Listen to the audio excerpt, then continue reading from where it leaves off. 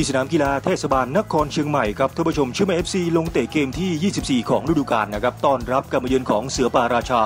นครปฐมยูไนเต็ดนะครับที่มีอดีต head coach เชียงใหม่เองนะฮะอย่างอาจารย์ประยงค์ ขุนเณรนะครับรวมไปถึงอองรีโจเอลแล้วก็สุรสิทธิ์ขุนจันทร์เด็กเก่าเชียงใหม่ด้วยนะครับทั้ง 2 ทีมอันดับติดกันเลยนะฮะเชียงใหม่ 9 แล้วก็นครปฐม 10 นะครับโอกาสของเจ้าบ้านนะครับเกือบนำเร็วจากจังหวะนี้นะครับวิชานันทศรีหมุนตัวยิงนะครับไปติดแนวรับของทีมเยือนครับ จังหวะขึ้นเกมของทีมเยือนนะครับทางซ้ายลูกนี้โยนเข้ามาแล้วมาเอเดบี้เบอร์แรงนะฮะตวัดยิงด้วยซ้ายแต่ว่าไม่ตรงกรอบนะครับว่าลูกเกมยังอึดอัดทั้งคู่นะฮะจังหวะนี้นะฮะคิมพโยจินครับหลุดขึ้นมาทางขวาไหลต่อมา เพียวธีรพงศ์ดีทำแฮดเปิดเข้ามาหลุดแล้วอ้าวเข้าทางจองแดซันแปะเรียบร้อยเลยครับโอ้โหประตูแรกของจองแดซันในฤดูกาลนี้นะเชียงใหม่เอฟซีได้ประตูขึ้นนำจนได้ครับนาทีที่ 25ฮะ หนึ่งประตูต่อศูนย์ครับโอ้โหดูฮะต้องชมเจ้าเพียวด้วยที่ไล่มาสุดเลยแล้วเปิดได้ แล้วแนวรับทีมเยือนไปหลุดด้วยฮะเสร็จเลยครับบอลมาเข้าทางจองแดซันแล้วยิงฉลาดนะยิงหนีมือนะเสียบสามเหลี่ยมเข้าไปเอาละครับมาเชียงใหม่เอฟซีวันนี้ไม่มีเวลิตันบรูโน่ด้วยนะทำให้การเชื่อมเกมในแดนหน้านั้นอาจจะติดขัดเล็กน้อย โอกาสของทีมเยือนนะครับจากจังหวะขึ้นมาโหม่งของอองรี โจเอลนะฮะกับตันทีมซึ่งเป็นอดีตผู้เล่นของเชียงใหม่ เกือบไปแล้วครับนครปฐม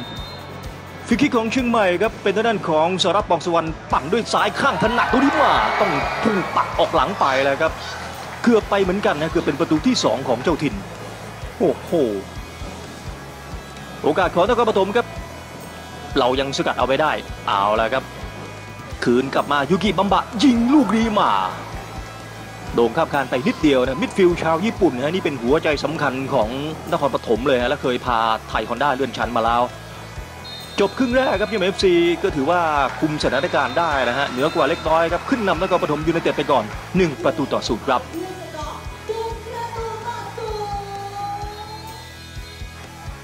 เริ่มครึ่งหลังมาเนี่ย ทีมเยือนถือว่ามาดีนะฮะ มาได้ประตูตีเสมอรวดเร็วจากจังหวะนี้ฮะยูกิมัมบะกระโดกข้ามมาหลุดเป็นแผงเลยก่อนที่จะยิงดิดดีดนะลูกนี้โอ้โหยิงเหนือชั้นมาก เนี่ยแหละครับยูกิบัมบะหนึ่งประตูต่อหนึ่งครับโอ้โหกระดกข้ามด้วยเท้าซ้ายแล้วยิงดีดแบบเหมือนฉีดยาด้วยเท้าขวานะฮะดูฮะ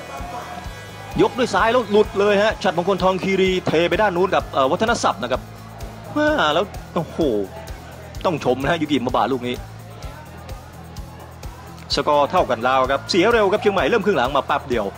พอเสียประตูไปนี่เจ้าบ้านบุกแปลกเลยนะฮะแล้วมาด้านขวาคิมพโยจินไหลต่อมา วิชานันทศรียิงอัดเสาแรกเลยครับไปเข้าตะข่ายด้านข้าง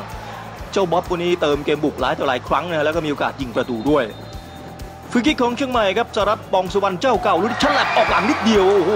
น่าเสียดายเจ้าปลื้ม